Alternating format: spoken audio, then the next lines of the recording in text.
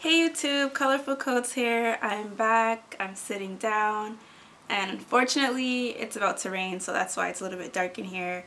But I wanted to make a review for Interview Cake.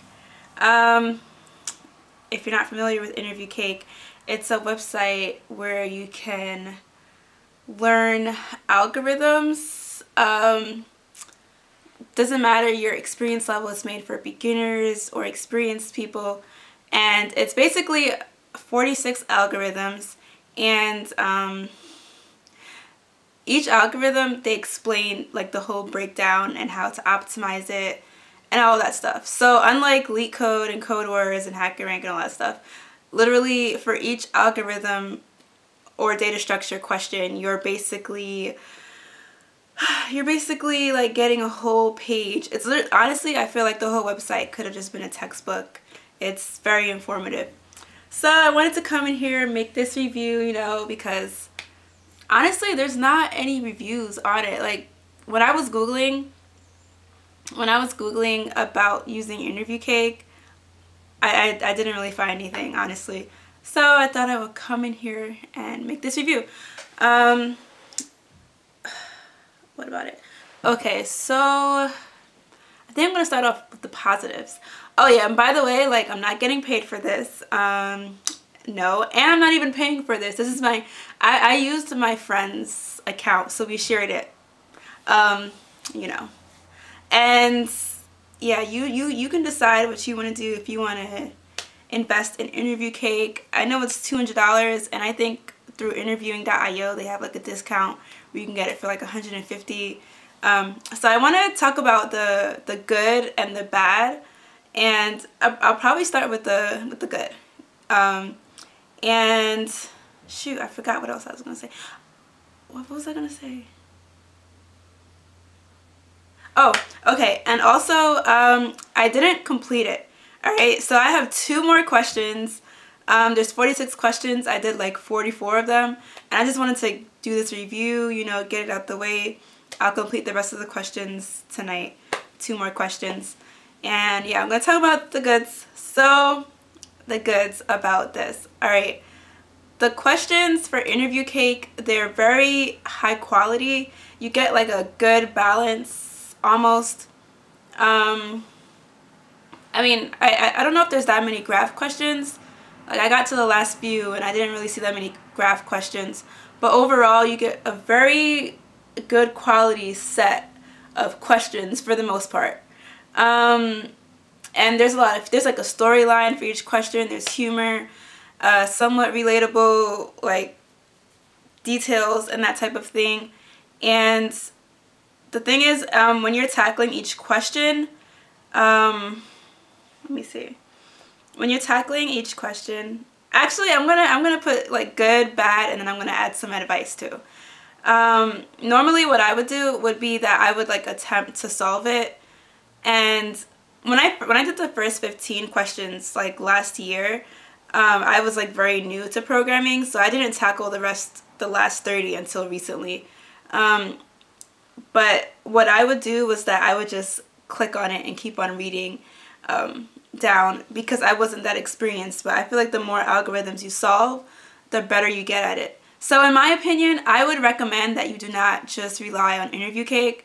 If you're a new programmer, you need to make a balance. Like, I, I would say start with um, LeetCode just so that you can learn to appreciate Interview Cake afterwards because you're gonna like solve like solve a several LeetCode questions and then come to interview cake so that you can put like a some type of honest effort in like maybe solve like 10 10 LeetCode or something um, and go back and forth because it's it's a lot it's a lot of reading a lot of it. And you know sometimes I cheat like sometimes I, I don't even bother um, like attempting the code like to code the question because some of the questions that some of the questions seem like I wouldn't even be able to like I wouldn't know where to start. And other questions are like once I got better at them they were so easy I was like well why, why would I code this when I can just see the most optimized version? Because the version that I would do will probably not be that optimized. It would probably be you know like uh, what is it called? Like n log n or something like that or it would be like um what's it called again? Like n squared. I forgot the, the the terminology but yeah my optimizations wouldn't have been that good. But I learned so much. I learned about greedy the greedy algorithms memoization like so much vocabulary and you can select like um, specific questions like SQL. You can select Python. I programmed in Python. That's what that's what I solve all my algorithms in. Um, and yeah, you can like there's there's there's questions specifically for uh, languages like JavaScript specific questions and that type of thing.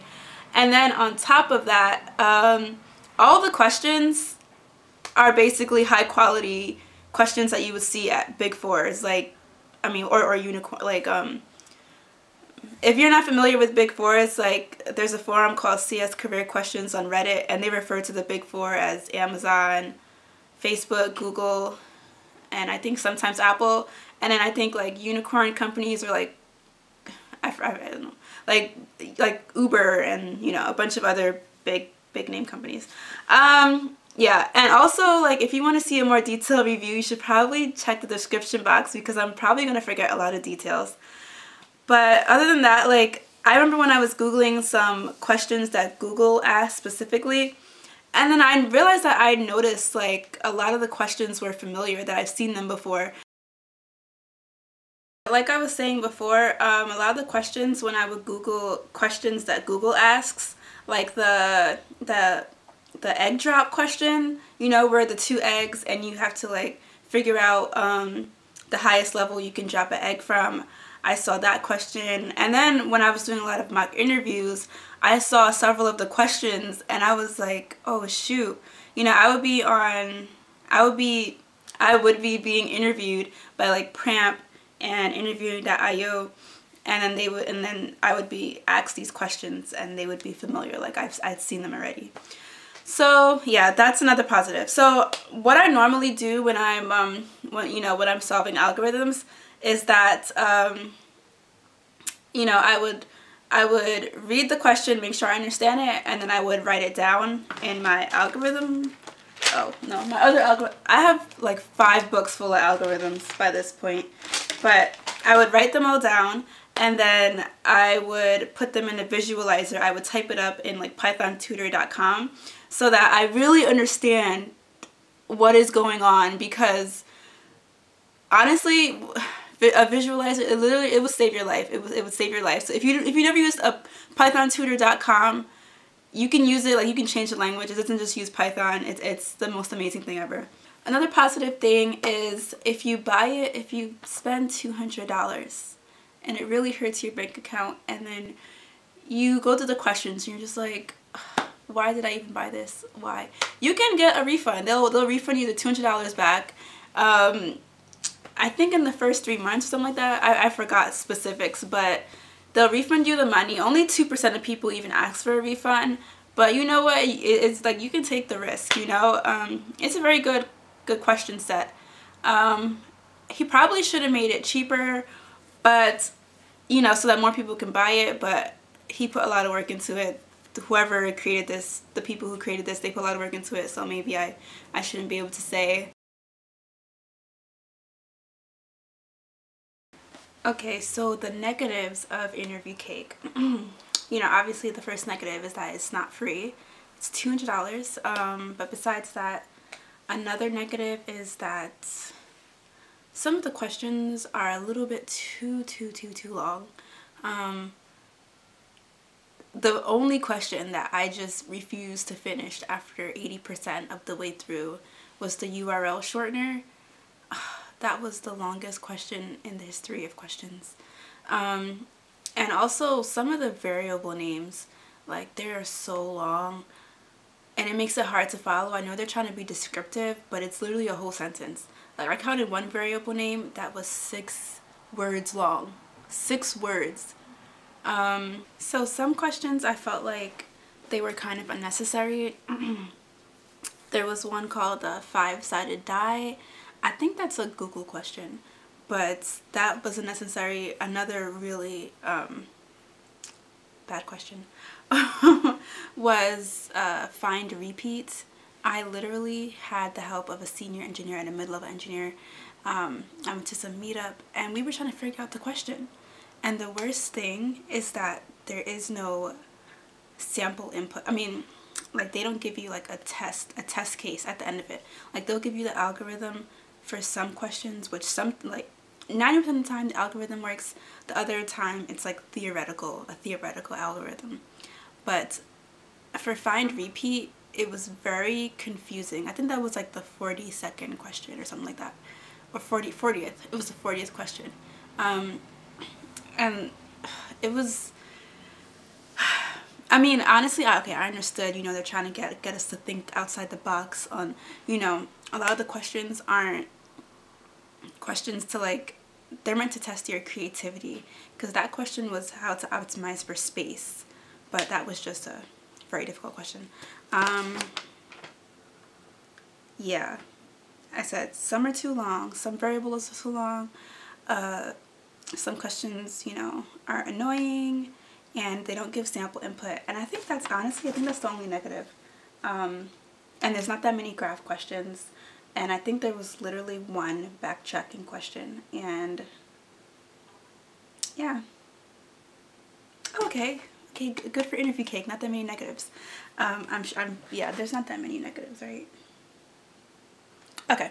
So yeah, so you make this decision. Um, if you want to invest in interview cake it's really good if you want to get good at algorithm,s like this is a numbers game don't just rely on interview cake my top three sites are LeetCode code Code wars and interview cake and interview cake um, but one of the nine things when i use LeetCode is that there would be a highly rated python question that was answered and no one can explain it to me. Like and yeah that's just one of the negative that's that's honestly one of the negatives of LeetCode there's there's no deep explanation where that's where interview cake comes in. That's why you need that like diversity. Like diversity is very good. Um so yeah so that's what i recommend. I recommend that you invest in interview cake um you know take that risk. And then you also solve um other websites so that you can really like take breaks like do 15 interview cake questions because it's a lot of reading and then do like another 15 LeetCode and then 15 interview cake and then back and forth so that you get stronger and you can actually put an honest attempt into the questions instead of being like me sometimes and just reading the questions and writing them down. So yes, yeah, so I hope you like this review. Um, check the description box for whatever I forgot and yeah, good luck. Bye.